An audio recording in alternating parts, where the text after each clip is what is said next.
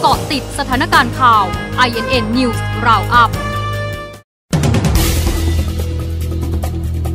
16นาฬิกา13 นาที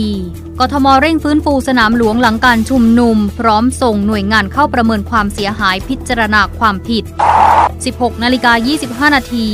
ธนวัฒน์เผยเฟดคงดอกเบี้ยส่งผลดีต่อเศรษฐกิจ จับตาดอลลาร์สหรัฐอ่อนค่าทำบัตรแข็งกระทบส่งออกสุด 16นาฬิกา36 นาที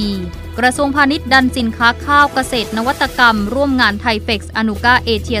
2020 คาดดันยอดขายหลังโควิด -19 ได้ ล่าสุด 16 นาฬิกา 49 นาที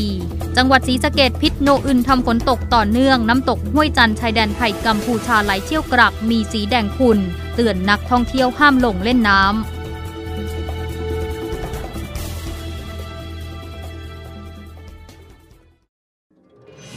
ะติดสถานการณ์ข่าว INN News Roundup